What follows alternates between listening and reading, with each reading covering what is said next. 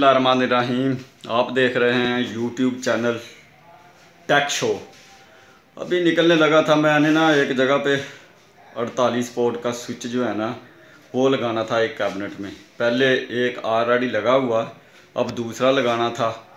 वो इसलिए लगाना था कि पहले वाले स्विच के नेटवर्क में मसला आ रहा। आईपी फ़ोन और इंटरनेट दोनों में फ्लैक्चुएशन हो रही थी।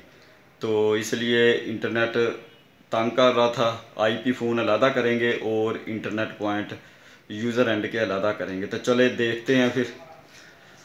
स्विच किस तरह हैंग होता है और लिंक किस तरह ऑन होता है इंटरनेट का अप लिंक और स्विच कितनी देर लेता है ऑन होने में? सिस्को का अड़तालीस पोर्ट का सैंतीस, पचास। ये देखें, ये जो स्विच है ना सिस्को का स्विच ये अभी ऑन हो रहा है। ये कुछ टाइम लेता है तीन से चार मिनट ऑन होने में ना। ये अड़तालीस पोर्ट का सिस्को का स्विच लगा हुआ है पीओई e। ये स्विच हमने पहले लगाया था। आज जो है ना, ये वाला चेंज करने, इस पे ये वाले तेरह पॉइंट चल रहे थे, तेरह केबले जो है ना यूज़र एंड पे। तेरह कंप्यूटर लगे हुए थे इंटरनेट के लिए डिस्ट्रीब्यूशन स्विच ये था। अब इससे केबलें हटाकर इधर लगा दिए, ये लगाया नया स्विच ये अब कैबिनेट में इसलिए मैनेज नहीं हो रहा, इसकी पावर सप्लाई बैक पे ना काफ़ी बड़ी है। वो देखें। वो बिल्कुल ये पावर सप्लाई देखें। ये जनाब प्रॉपर आ नहीं रहा इसमें, इसलिए इसे जो है ना नीचे रखा। अभी ये हो रहा ऑन ये तेरह कंप्यूटर की नेटवर्किंग है, अभी चल रहे हैं, ये देखें। पाँच चल रहे हैं अभी।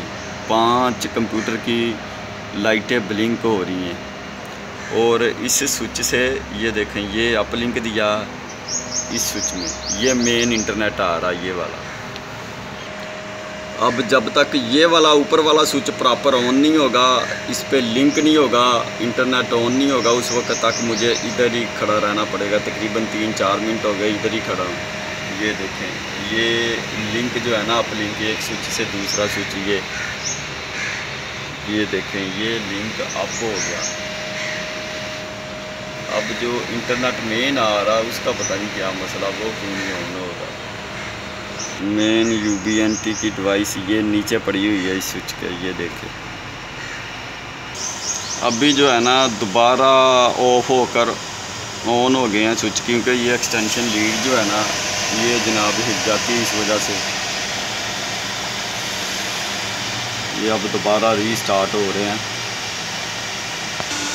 ये देखें, ये अभी सोच जो है ना, ये हो गया रीस्टार्ट सारी लाइटें ब्लिंक और आवाज़ भी बहुत ज़्यादा दे रहा है।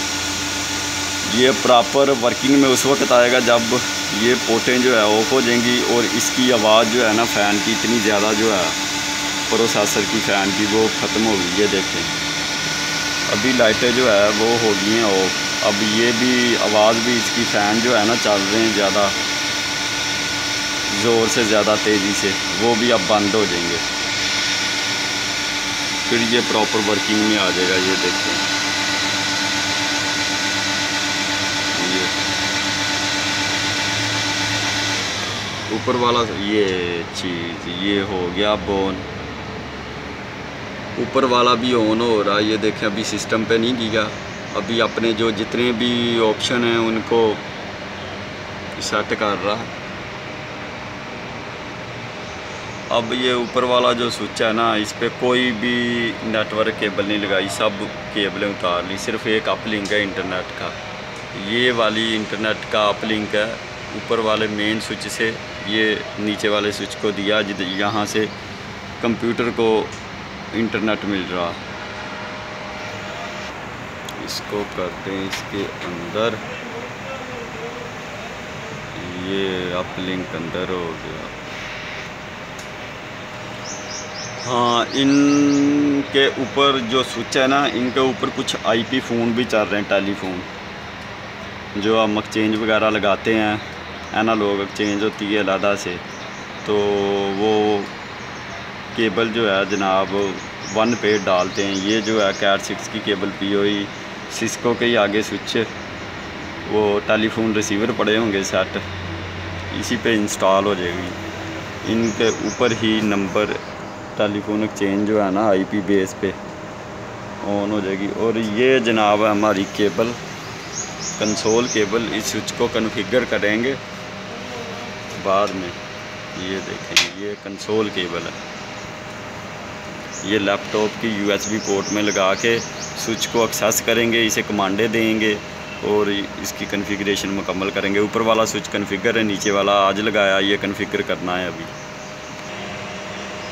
ये ऊपर वाला स्विच देखें, अभी जो है ना, वो अपनी सेटिंग सेव कर रहा। ये ये अप लिंक और मेन इंटरनेट दोनों ही ऑन हो गए हैं। ये देखें, ये अप लिंक है। ऊपर वाले स्विच से नीचे वाले स्विच में आ रहा है ये। और ये